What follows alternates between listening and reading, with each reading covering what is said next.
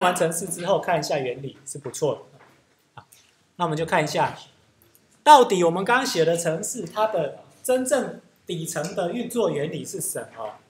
那这个东西应该是由柯老师来讲，应该由柯 P 来讲才对。那可是呢，问题是，我既然讲了这个，不能等他讲，等他讲的话，搞不好你们都忘光了啊。所以我自己来讲啊。那到底刚刚那个所谓的 HTTP 运作协定是长什么样？那先给各位分三个名词：Network、Internet 跟 Web 到底有什么差别？好，在英文里面，network、internet 跟 web 其实很清楚，但是在中文里面，第一个叫网络，第二个也叫网络，第三个也叫网络，到底有什么差别？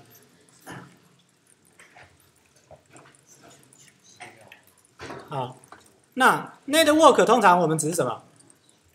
泛指所有网络，区域网络也算网络，广域网络也算网络，然后呢，web 我也说说它是网络，无线网络我也说它是网络，对不对？network。现在 Internet 到底是指什么？你们上过网络概论吗？哎哎，一年级的有上过吗？没有，一年级的还没有上过网络概论。好，那所以我现在讲完之后，科 P 大概就不用讲了。好，那 Internet 指的就是建构在 TCP/IP 这一个结构上面的网络，这个也正是我们现在全世界所谓的网络。TCP/IP 网络就是就是 Internet，OK，这样清楚了哈。所谓 Internet 就是指建构在 T TCP/IP 这个协定以上的网络，OK。那你没有连上 TCP/IP 的就不属于 Internet 的一部分。好，那 Web 是什么？Web 全名叫 World Wide Web 啊，但是通常也写成 Triple W 嘛，WWW 啊。那 Web 指的是指 HTTP 这个架构底下的那个网络，也就是浏览器可以看到的那个网络才叫 Web，浏览器看不到的那个网络就不叫 Web。好，这样清楚吗？好，所以这三个名词，请你一定要分清楚，因为这个东西算是技概，特别是网络部分很重要的一个观念。好 Network 泛指所有网络，Internet 是架构在 TCP/IP 以上的那个网络。那什么叫 TCP/IP？大家一年级的同学知道吗？不知道哈。TCP/IP，你看哦，刚刚我们不是打一九二点一六八点六零点一零一嘛？哈，这个东西叫做 IP。一九二点一六八点六零点一零一这种东西叫 IP。一九二开头的是内部 IP。这个是一个 Class C C 级的区网，啊，但是呢，你可以做一件事情，呃，做什么事情？来，哎，我再开一个，哦，这边已经有了，好，我把这个拿出来，我们拼一下，哎，不知道学校可不可以拼？啊，学校不能拼嘿。学校不不提供聘的功能，那我们聘雅虎，哎，有雅虎可聘，对不对？你看，雅虎可以聘，这代表什么意思呢？就是说，我现在去聘雅虎，t w 点雅虎点 com，这个是一个网站，我通常也是打 t w 点雅虎点 com 进去这个网站的，或者是我用 Google 搜寻，搜寻到之后，它其实就是连到这里，我就点进去，就到这个网站。问题是，这个东西叫 URL，这个叫。叫就是英文英文字母的这种网址，比脑袋比较好记。其实对大家来讲，搞不好没有差，因为因为你还要会英文嘛，对不对？它其实也有提供中文网址，只是没人用而已啊。那没人用中文网址，其实它就是为了让外国人好记啦，啊，不是为了让我们好记的。那所以呢，t w 点雅虎点 com 对外国人是比较好记的，对对会英文的人来讲是比较好记的。但是呢，一六点二一四点一二点七四，这个对对，即使会英文的来讲也是很难记的。你觉得哪一个好记？我觉得雅虎还是比较好记的哦，这个还是比较难记的。但是这个东西叫 IP，比如说整个全世界的网络，其实现在都建构在这种所谓的 IP 的位置上面。当我打一六点二一四点一二点七四的时候，其实就代表了雅虎的某一台主机。它不一定每一次传回来给你都一模一样，不一定，有时候会不一样。那这时候我如果今天把这个东西打上去，照理讲应该是可以运作的。雅虎，我 be right back，因为它的根目录资料夹不让你看啊。那对，哦，它确实到了雅虎哈，而且这一个它通常会是其中一台伺服器，它会再帮你重新导向到。另外一台，因为雅虎全全世界服务不可能只靠一台伺服器，它要一大堆伺服器，所以它会自动去转址。这一台只是拼出来的结果，最后当你连到它的时候，它会帮你再转到另外一台。好，那这等于是它的代表号哈，代表号。好，那同样的，这个就是区网的内容，区网的位置，但是你这个离开了学校就看不到了，离开这个学校就看不到了。在同样这个学校里面，你打 IP 应该是可以连，但是离开了这个学校，你你用你的手机去连，你又连不到这个东西，啊，那所以 TCP/IP 这部分是 IP 的，IP 的部分是网址的部分。有了这个网址之后呢，大家才可以互相连来连去。但是接下来你要传讯息的时候，我到底该怎么传？在这上面。还要有一层，那一层可以确定说你传的讯息呢有大，而且你传的讯息是一格一格的封包，在这种 TCP/IP 是一种分封网络哦 （Packet Switch Network） 啊，那个封包交换网络，在这种封包交换网络里面呢，所有的资料都变成一小块一小块的。那你一个网页，如果今天传过去的时候被拆成五块，到时候第三块先到了，第第五块接它到的顺序可能是三五一二四，那这时候会怎么办？你看到的就是啊，先出现网络网页的中间部分，然后再出现最后，然后再出现开头吗？这是没有办法运作的，对不对？所以，它的做法，TCP 的做法就是，它加了一层，会帮你自动重新安排封包，以正确的顺序取出来。不管谁先到谁后到，最后只要某个中间封包没有到，你就还不能取它。而且呢，如果今天万一没有到，它还会重传。OK，那它可以确保你整个封包是完整的到达。啊，这个就叫 TCP，那所谓的 TCP/IP 就是指这个东西啊，那这个就是所谓的 Internet，Internet，好，接下来有了 Internet 概念之后，我们接下来看 Web，Web 是一九九零年 Tim Berners-Lee 所创造出来，他创造出全 HTML、URL 跟全世界的第一个 Web Server，所以这个人被称为。Web 支付、全球资讯网支付，或者是万维网支付啊，因为中国用万维网还比较容易讲，全球资讯网真的不知道在到底在讲什么啊。但是，哎，我就用 Inter 就用 Web 啊，就用 Web。好，那 Web 上面的伺服器就叫 Web Server 啊，Web 伺服器嘛。那这个在我们这一年这一个年代的人其实都很清楚。我是在大概在当兵回来之后才开始接触到这个东西。在我去当兵之前，我不知道什么叫网络。在我当完兵之后，发现大家都在上网，这个东西到底是什么？我从前写程式从来不知道这个东西。那正好就是在我当兵的时期，这个东西大爆炸，变成全世界的人都在用。那所以我回来就得重学了。我记得台大的校长李世成说过一个他的故事，他说他去当兵之前呢，呃，就是他们学的东西叫做计算尺，他们也有学电脑，但是他学的东西叫计算尺。那个时候连电脑都还没有，应该说不是还没有，而是台湾至少个人不会有。那等到他他当兵回来之后呢，已经有大型电脑了。那于是呢，他过去所拥有的计算尺知识全部都没有用，学了很辛苦没有用，然后接下来呢，就是进入了大型电脑时代，然后接下来又进入了个人电脑时代，现在又手机时代。那我当兵的时候刚好就是，就是从没我们还没有接触过网络，突然之间全世界都进入了网络这个领域。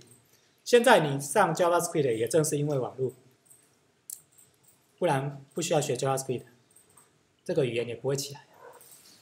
为什么它会起来？因为浏览器里面只能用这个语言。好，那这个东西是怎么出现的？是有了 HTTP 之后才出现 H，就是加上 HTML、CSS 之类的这些东西之后，才形成一个完整的 Web 架构。再加上 JavaScript 就更完整，它可以动态。那所以 Web 的相关技术呢，它是架构在 TCP/IP 之上，而且它有一个协定叫做 HTTP。OK，那它是一个客户端伺服端架构，就是 Client Server 架构。那它包含了一些特色，比如说它定义了 HTML，HTML 里面最大的特色就是有超连接，你可以点来点去，点来点去，就可以跑到另外一个网站或另外一个网址。那这些网址的建构就必须要建构在 IP 之上，你没有 IP，你不可能有网址。OK，那所以它是建构在网 IP 之上的，然后你要把 URL 转换成转换成 IP，要透过一个叫 DNS 的 Domain Name Server 的伺服器才可以转换。啊，那这个基础建设都建设好了，所以目前都有。刚刚我聘的时候，其实。提供聘的厂商就是把那个网址转成 IP 了，好，那 Web 的相关技术真的多得不得了，最重要的就这几个了：HTTP、HTML、URL、CSS、JavaScript。所以你会了这个，基本上就够了哈。因为我们讲的又是 JavaScript，所以你只要会这个这一组。你会了 JavaScript 就等于是会了 Node，啊，那就没有差别。那所以呃，我们现在所讲的也就是这些了，也就是这些。那可是 HTTP 到底是什么？啊，你打一个网址，为什么我打 ccc 点 nqu 点 edu 点 tw 的时候会跑到我的网站，而不会跑到雅虎去？啊，因为浏览器。会把这个网址根据这个网址呢，传送一个封包给伺服器，丢到网络上，透过路由器，透过一大堆的中间装置，透过光纤网络，最后会达到那台伺服器伺服器上面。伺服器会传回讯息给我，问题是，我到底传了什么讯息给他？浏览器到底传了什么讯息给他？伺服器到底传回什么讯息给我？浏览器。这中间需要几个步骤。第一个，伺服器要接受浏览器传来的网址；第二个，伺服器要取出相对档案的内容。这不就是我们刚刚在做的吗？File Server 做的不就是这件事吗？接受网址之后，看后面的路径是什么？取得 Path Name，对不对？Path Name 路径，取得档案，把档案内容传回给浏览器。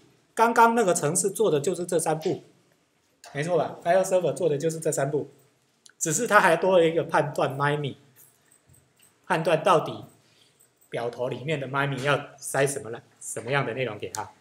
好，好，那这个所有的资讯必须要遵守固定的格式，这个格式就叫做 HTTP 协定，这个来回的讯息格式就叫 HTTP 协定。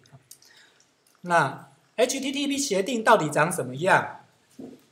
刚刚我看到有同学用那个封包抓取器已经在抓我的封包了，对不对？哈，那基本上如果你抓了之后，你就会看到有这种东西在，对不对？OK，那，这个东西就是那个封包的表头。HTTP 呢，它表头开头一定是会有一堆这样的东西，告诉你说我现在浏览器想要你哪一个档案，想要哪一个档案在哪里？这个是 get 后面的这一个东西，采用什么协定？HTTP 一点零还是一点一还是多少啊版本？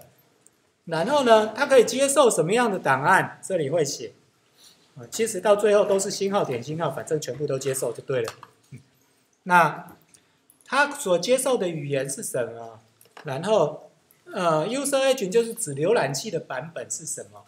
啊，然后内容的长度是多长？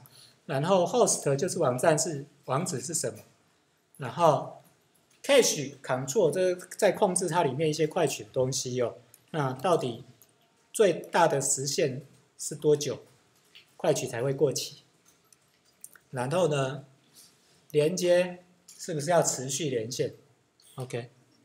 那这个表头传完之后会传一个空行，所谓的空行就是只有换行资源，其他什么都没有的那种空行。空行传完之后呢，才会传真正的内容。但是以这个例子而言，不需要，因为这个是请求，请求的部分后面没有东西了。所以传完空行就结束，OK，啊，尤其是 GET 的请求哦，那什么叫 GET 的请求？什么叫 POST 的请求？这个后面再讲啊。好，那 Server 当他收到刚刚那个请求之后，他就会传回这个东西，HTTP 一点零，看你到底是根据哪一个 HTTP 协定的版本，两百在这里。刚刚我们为什么要传两百？就这个两百，两百告诉对方什么？档案找到了，而且我正确传回给你。两百的意思，所以两百后面通常加 OK 是这个原因啊。两百 OK，四零四 Not Found，OK 啊。那内容哦，假设现在取得的是一个 HTML 档案，那 Content Type 就要用 Text HTML，这就是刚刚的 MyMe，刚刚的 MyMe，对吧？我们为什么要把点 JPG 转成 Image JPEG，为什么要把点 HTML 转成 Text HTML？就是在填这个栏位。好，那整个档案的长度多长？哦，这个会放在这里。其实这里应该还再加一个空行了哈，我这个空行没有写。再加一个空行之后，才开始传传 HTML 的档案内容。这里写 LT 怪怪的，这里不应该写 LT，这应该是。直接就是挂号挂号那个，那这样子就结束了啊。那哦，这样就一来一回，一来一回，就完成了一个 HTTP 协定的请求和回传的过程。但是网址不是只有那么简单，有时候网址会有这么复杂的东西。这是什么呢？这前面这是路径，问号后面通常是参数。啊，如果你用早期的流早期的网站哦，就会发现很多网站后面有所谓的问号后面的东西。那这个呢是说账号是 CCC，密码是一二三四五六七。如果你用这个的话呢，它会发生这件事哦。这种 get 的版本，它会在网址的后面会出现这个东西。那在网址后面出现这个东西的话，完蛋了！只要有一个人站在旁边，就看到你的密码，所以你的密码全部会泄露光光，好吗？所以不能用 get 传密码，要用 post。用 post 传的时候呢，它不会显示在这里，你就会只会看到这样。OK，那至少安全一点，但是也没有多安全，对不对？没有多安全，本来我们是这样的，本来我们是这样的哈，本来我们是用 HTTP 的，这样子是不安全的，因为它的封包没有加密。OK，那没有加密没关系，如果你只要里面没有账号密码的话就算，但是如果有账号密码，人家截一下你的封包，你还是一样漏光光，不管你用 GET 还是 POST，通通都漏光光。所以呢，你这边要加 S。加 S 之后呢，它会先在浏览器里面先加密，加密之后再传出去，对方收到之后再解密。那中间的，即使你封包被截了，那他截到的也只是一堆加密过的密码，他根本看不到真正的内容，除非他可以破解 SSL。啊，因为 HTTPS 就是 HTTP 在 SSL 这个协定上面的运作。好，那所以像我的网站，我就有就有 HTTPS 的版本，而且这个版本谁会用？只有我自己会用。为什么？因为它必须要登录。啊，那登录完之后的的才可以修改。我不能允许任何一个人随便去修改我的网站，那我就会遭受骇客攻击。所以，所以我用 HTTPS 是在自己的版本，但是各位看到的，我通常是给各位这一个版本。你看到的是 HTTP 版，它是没有编辑的功能，它是没有编辑功能。但是呢，我自己用的是用 HTTPS，它是有编辑功能。好，这样了解吧？所以就会有预览、编辑、储存、上传啊这些东西。还有没登录无法上传，对，没有登录。OK。那呃，这个大概就是就是就是我们刚刚所说的，诶，这里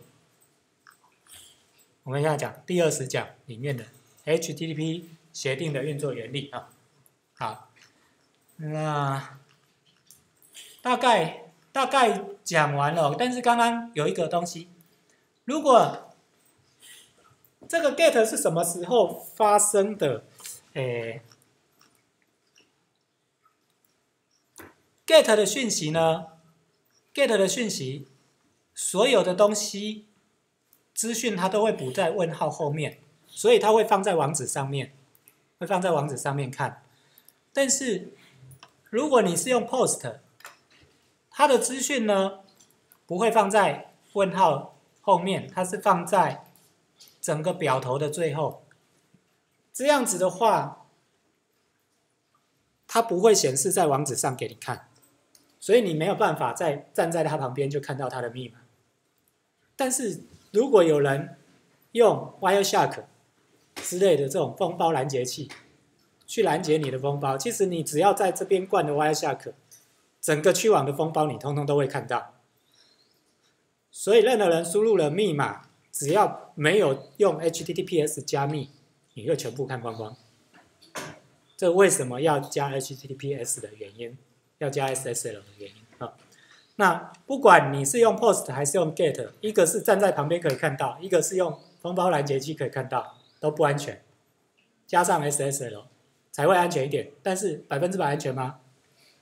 不，为什么？你打进账号的时候，你打进这个账号密码的时候，就说我这样登录，我打进这个账号密码的时候，如果我里面有字幕码程式，它就马上取走你的键盘的按键，它一样得到你的账号的密码，所以这个。即使有 HTTPS，这样也没有很安全。你得确定你的电脑没有木马。那各位有没有注意到？你有没有曾经做网络付款，而且是插信用卡的那种，或插提款卡的那种？如信用卡，反正输入账号就可以了。但是提款卡，有没有用过？那个要用一个读卡机。对，然后你要把你的银行的卡插进去，然后可以自动付款，就是可以选择付款。但付款的时候，你有没有注意到，它其实有安装另外一个程式，对不对？然后呢，安装完之后呢，你才可以付款，那个有负责安全性的问题。而且不止这样，它不让你用键盘输入，对不对？它密码的部分，请你按荧幕键盘按钮，你要用滑鼠去点那个荧幕键盘按钮。对吧？然后呢，那个荧幕键盘按钮呢，它的一二三四五六七八九十是跳来跳去的乱排。为什么？因为他不想让人家结了封包之后，就知道，或者是木马就可以知道你到底按了什么键。那你会说，这样难道就不会泄露吗？不一定。为什么？假如你的网络频宽够大，那我可以做做一件事，我的木马把你的整个荧幕画面随时都传回来，一样我知道你的密码，对吧？你在那边点一下，哪边点一下，我通通都知道，我一样知道你的密码。当骇客就是搞这些技能。好那我不当骇客，所以这些技能我不熟，不要问我。好，好，OK。所以呢，HTTP，还有 HTTP 做的就是就是 Web 浏览器传给伺服器，伺服器再传回来的过程，这个协定叫 HTTP，这样清楚了吧？好，OK。今天大概就讲到这里了。那我们已经把静态伺服器整个讲完，包含 HTTP 协定。啊，今天讲了很多啊，那回去各位可能要消化吸收一下。期末需要用到这个的同学，你可以用。那可是我们还没讲怎么样子传表格资讯，就表单资讯回去哦。这个可能下礼拜有机会再补充。好。